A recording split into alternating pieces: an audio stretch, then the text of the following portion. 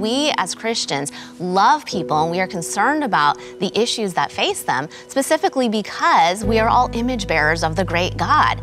We all have this inherent value because God imbued us with this value and we are all equal and therefore Christians love people. So that's the starting point. Right. So we look around, we say we do care about these issues and we do need to be talking about them. But we have to be careful to distinguish a concern and a love from agreeing with the world on how to approach these questions.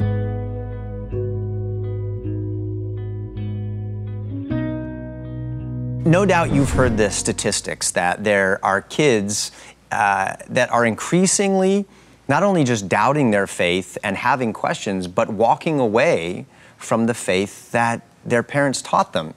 Why do you think this is happening?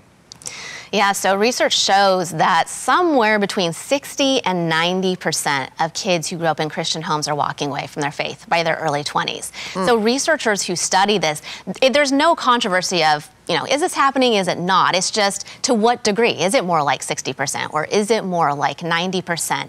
And this has been confirmed by multiple studies over time. Sometimes parents just think, oh, that's just an alarmist statistic. But no, this has been really well documented. So, of course, the million dollar question is why does this happen? Because we want some answers so we can make Right. it not happen.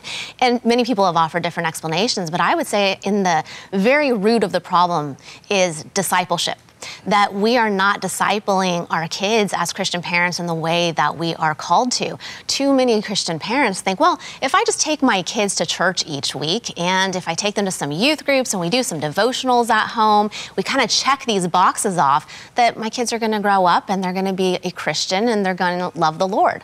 But that's not enough today. It- it's not supposed to be enough. We're supposed to be giving our kids a much deeper understanding of their faith.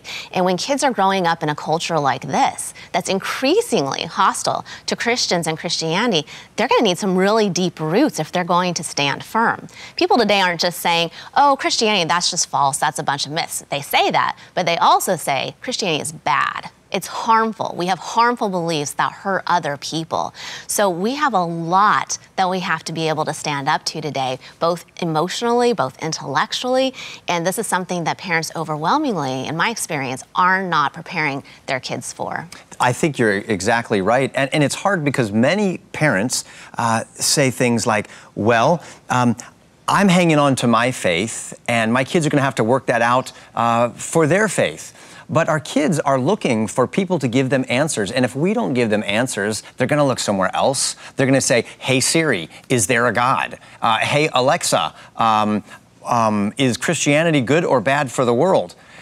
But God's given our kids to us, and so we need to be educated on these things and then teach them to our children. So here's some here's some questions that I have for for you with regard to our kids walking away from church. Some kids walk away from the faith because they feel that the church is not concerned about the things that they're concerned about. They want to know, well, what about racial justice? Why doesn't the church talk about that? What about gender identity? Uh, what about the immigration problem? Why, why aren't we uh, dealing with the climate issues? Um, how do we talk to our kids about these things when our church doesn't talk about it and we don't know a particular Bible verse that uses those terms? Yeah, that's a great question. It's a really important question today. And I think it starts with just affirming that it is something that we should be concerned about. We as Christians love people and we are concerned about the issues that face them, specifically because we are all image bearers of the great God.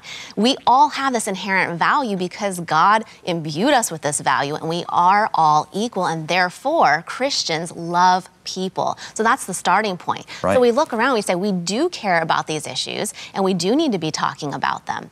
But we have to be careful to distinguish a concern and a love from agreeing with the world on how to approach these questions. Hmm. The secular culture will tell you if you love someone, you will love them in this particular way. Hmm. It's not just love them in some Right. way, it's you must agree with what it means to love according to man's standards. So they will say something like, if you're really a Christian, then you will actually affirm that person's sin and celebrate it or defend their sin. That's right. That's the secular view of love. It is you are going to affirm whatever a person wants for themselves. You're going to come along with them on their journey. You're going to give them the high five. You're going to say, yes, everything that's right for you is right for you. But a Christian view of love is not that. We want for others what God wants for them whether or not they want that for themselves. Right. That's a huge distinction that kids need to understand when addressing all of these hot button kinds of issues. And do you think the Bible addresses these hot button issues? Yes, absolutely. The Bible might not come right out and say, okay, here's how you're going to handle immigration issues in 2022. No. But when we understand the Bible first and we have that biblical worldview, we need to learn how to think from a biblical perspective. And that's something that doesn't just happen by memorizing the Bible verses on Sunday mm-hmm. at Sunday school. Kids have to be trained to think in these ways. They have to be trained how to take what they understand from the Bible, from God's eternal truths, and to think in light of that. So these are things we have to help them with because if we don't, the world will train them on how to think about them. And that's not going to be from a godly perspective. Oh, this is so great. Um, Natasha, what about uh, our kids saying things like, well, you know, what's true for you is not necessarily true for me, and it's definitely not true for my friend who just had this conversation with me and they told me what their truth is. Um, how do we raise our kids to hold on to a faith that says, no, there is the truth, and that's what God says the truth is? Well, I think that's why apologetics is so important. And of course, I'm biased. I'm an apologist and I love apologetics, but I love it because it's so important. We have to have a good understanding of why there's good reason to believe that Christianity is true. So these big worldview questions that all of us, every single human, has to answer in terms of does God exist? And if he exists, has he revealed himself? Is the Bible God's word? Who are we as humans? All these questions have true or false kinds of answers. God either exists or he doesn't exist. It doesn't make sense when you put it into these specific terms to say, well, it's my truth that he exists, and if it's your truth that he doesn't exist, well, that's okay.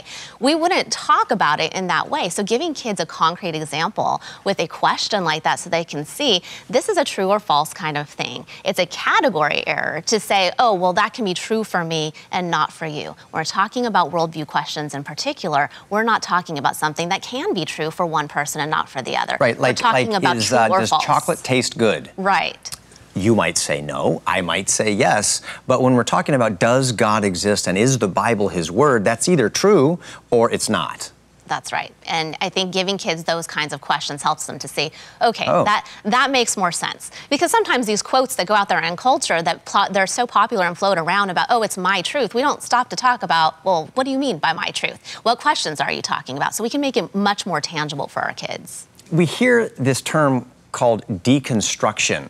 Um, I'm hearing it more and more. Uh, what is that all about? And is it dangerous?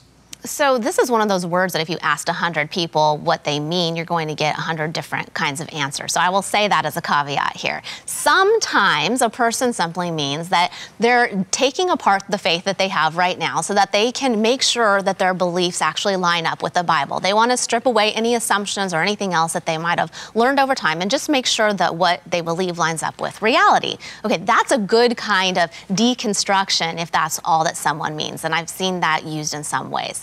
However, the more popular use of the term deconstruction today means that someone is walking away from the historic Christian faith and any kind of presupposition that the Bible is God's word, and they're saying, I'm going to deconstruct all of the beliefs that I've held, and I'm going to reconstruct based on what I find to be helpful for me. Hmm. And what I think is going to be not harmful, but the most loving kinds of ideas to hold. So instead of looking at the Bible and saying, Do my beliefs line up with the Bible? They're saying, I'm walking away from the Bible as any kind of sacred cow here, and I'm going to rebuild on the beliefs that I mm. find to be true. And just to be clear, I'm not saying that we should always just assume the Bible's true without looking for why there's good reason to believe it is. We absolutely should. But we also shouldn't start from the position of saying, well, I no longer feel the Bible is true, therefore I'm going to rebuild a faith of my own making and just come to these custom beliefs because I don't like what the Bible teaches. Those are very different things.